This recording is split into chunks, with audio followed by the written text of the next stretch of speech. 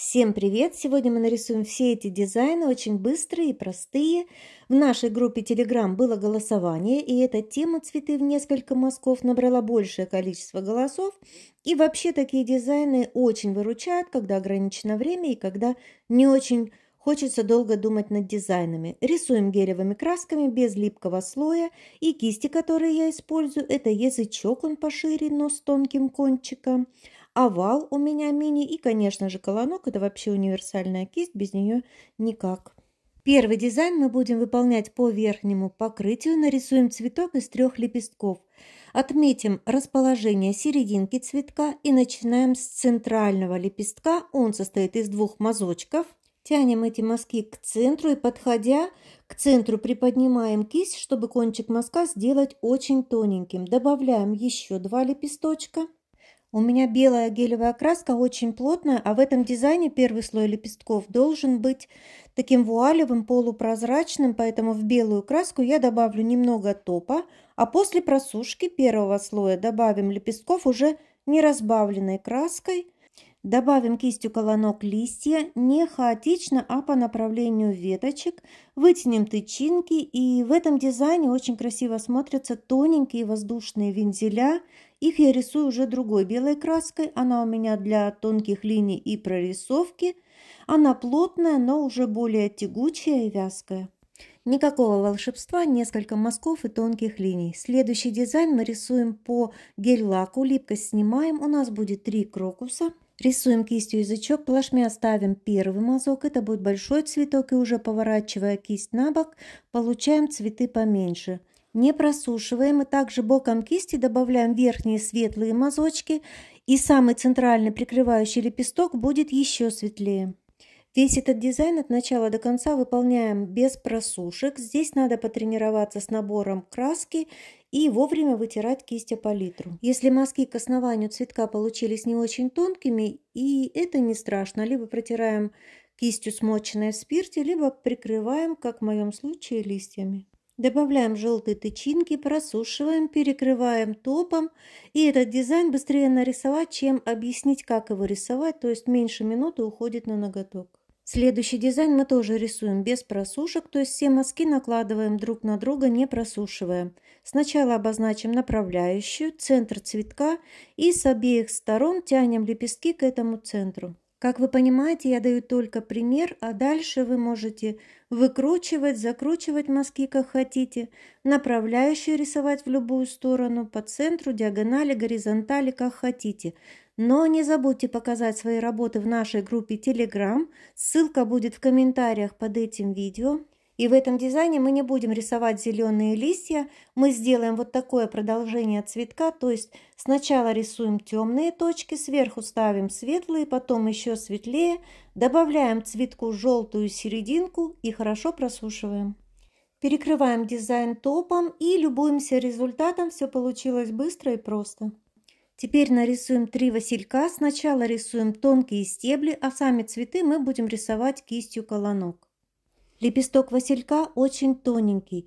Мы рисуем тонкий узкий мазок, тянем его к серединке. А чтобы сделать рельеф по контуру лепестков, следующие мазки мы ставим рядом с основным мазочком и вводим в него. Тогда к центру лепестки остаются тонкими.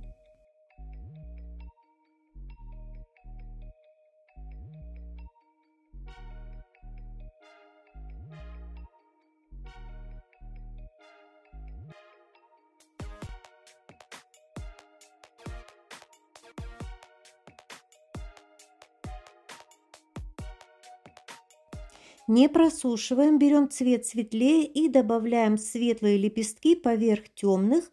Не обязательно попадать в предыдущие, можно и нарисовать между ними, но не надо рисовать слишком много, иначе получится клевер, а не получится василек. Весь этот дизайн также мы выполняли по мокрому, то есть ничего не просушивали. Добавляем зеленой травки, просушим и перекрываем топом. Получили нежный воздушный летний дизайн. Следующий очень простой цветок я показывала уже в коротких видео шортс. Это яркий летний дизайн. Также рисуется без просушек от начала и до конца. Вы можете себе зарисовать схему расположения лепестков этого цветка, а потом уже пробовать в разных композициях, в разных оттенках. Здесь основным является то, что к центру цветка идут очень тонкие хвостики лепестков. Даже если не получилось у вас сделать это овальной широкой кистью, вы прекрасно можете поправить, дотянуть колонком или тонкой кистью. И цвета подбираем так, чтобы при смешивании не получилось грязного оттенка. Здесь мы добавим несколько зеленых листиков. Серединку можно оформить как угодно, хоть стразами и бульонками. Я просто поставила темную точку. Сам цветок может находиться либо на паутинке, либо просто на тонких линиях. Все просушим, перекроем топом. А дальше мы нарисуем очень похожий цветок, но расположение мазков и цвет будут другими. Рисуем овальной кистью голубым цветом. И рисуем мазки точно так же, как у нас было в первом дизайне, но добавим нижние маленькие лепесточки к этому цветку. Не просушиваем голубой цвет, моем кисть и набираем розовую красочку, ну или сиреневую, у кого какая есть. Соединяем с голубым цветом, и при соединении здесь не будет грязи, здесь получится красивый оттенок, поэтому прежде чем добавлять новый цвет, вы обязательно попробуйте их смешение, а потом уже рисуйте на ногтях клиента.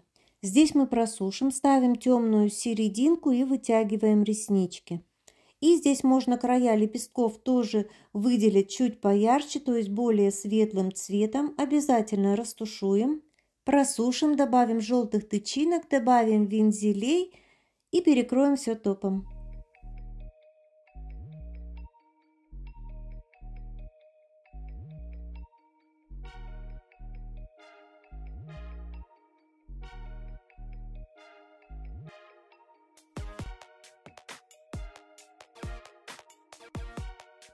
Следующий цветок очень любят рисовать в технике китайской росписи, а мы попробуем нарисовать мазками. Ставим центральный мазок, два рядом, я рисую красным цветом. Здесь я не просушивала, но вы можете просушить вот эти центральные три мазочка. Добавляем по краям два мазка узеньких и к ним уже чуть ниже добавляем светлые мазочки. Светлый цвет вмешиваем в красным, можно добавить на краешке и белый цвет. Оформляем стебелек, подрисовываем большой лист. Видимо, это все-таки у нас тюльпан. Здесь можно просушить и затемнить серединку, но затемним точечками, показывая, что это у нас там тычинки. И также тычинки мы можем поверху подрисовать желтым цветом. И чтобы тюльпан у нас не стоял совсем одиноко, мы добавим небольшие оранжевые цветочки из двух мазочков.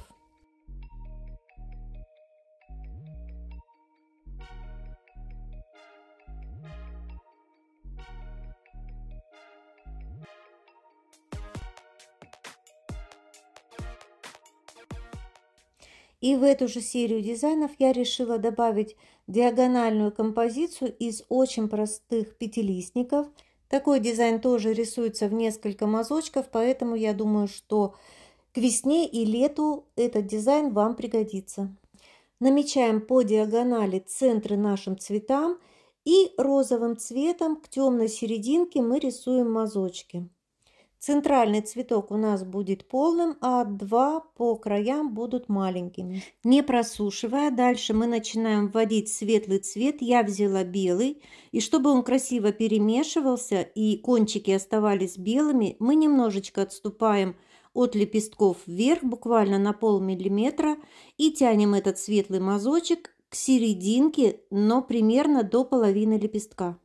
Теперь можно просушить, затемнить серединку еще больше, добавить листьев, высветлить края лепестков и наш дизайн простой будет готов.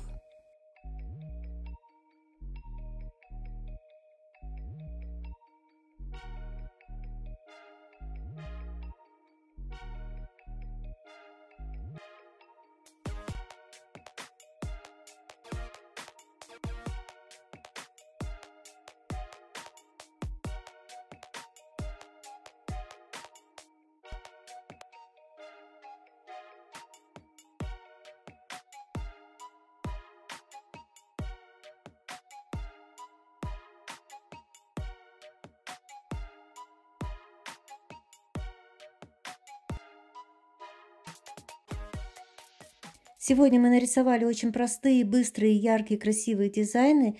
Я хочу, чтобы вы тоже их порисовали. Оставляйте комментарии, если вам такие МК полезные и нужны. Подписывайтесь на канал, будет еще много интересного. Всем спасибо, творческих успехов. Пока-пока.